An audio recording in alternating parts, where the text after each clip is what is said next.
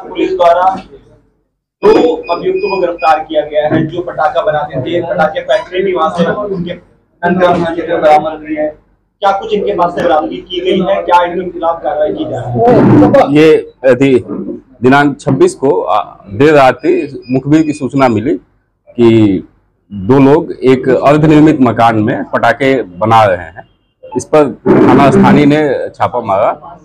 दो व्यक्ति धर्मेंद्र और विकास जो कि मूल रूप से बिहार के रहने वाले हैं ये लोग ये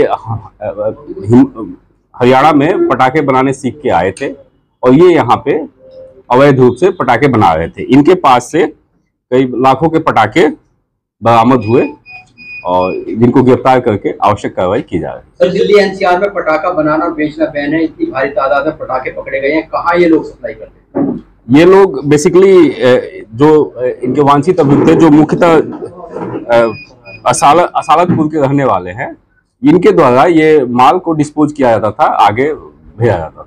जो दो अभियुक्त अभी सर फरार चल रहे हैं और जिस जगह जिस मकान में बना रहे थे जो फैक्ट्री थी वो किसकी थी? उनके खिलाफ किस तरह की कार्रवाई की जा रही है ये दो अभियुक्त जो फरार है इस्तिकार पुत्र जमील ग्राम असालतपुर के और जमशेद पुत्र इमामली ये असालतपुर के इनके द्वारा इन पटाखों को आगे बेचा जाता था और ये हमारे वांछित है और इनके विरुद्ध आवश्यक कार्रवाई की जा रही है। पूर्व में भी क्या सर इस तरह के ये पटाखे बनाने का काम इनका अवैध रूप से रहा है या इनके ऊपर किस तरह की कार्रवाई देखने को मिली है अब तक? अभी इनके कोई आपराधिक इतिहास प्रकाश में नहीं आया फिर भी हम जाँच कर रहे हैं।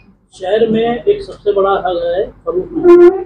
उस फरूख नगर से केवल एक नदी को पार करके ये नया स्टैंड मिला है और कारोबारी भी पुराने नगर के। क्या आप लोग की प्राइम फेसियल इन्वेस्टिगेशन में सामने आया है? कि क्या ये लोग केवल इन्होंने लोकेशन चेंज करके पटाखा बनाने का कारोबार किया था या कुछ और भी वजह हैं? नहीं ये इनका अथी फरूख नगर के पास ही जो अथी मैंने जहाँ ये फैक्ट्री मिली है फरूख नगर के पास ही है। इसमें संभावना है कि वहाँ से लिंक हो। इस पर हम दोस्तों अगर आपको हमारा वीडियो पसंद आया तो हमारे वीडियो को लाइक करें ज़्यादा से ज़्यादा अपने दोस्तों और रिश्तेदारों में शेयर करें और लाल बटन दबाकर हमारे चैनल को ज़रूर सब्सक्राइब करें ताकि आपको पूरे भारत से जुड़ी लेटेस्ट खबरों की जानकारी मिलती रहे। वीडियो संबंधित किसी भी प्रकार की सहायता के लिए हमें कमेंट बॉक्स में कमेंट करें। वीडियो देखने के लिए बहुत बहुत शुक्रिया। धन्यवाद।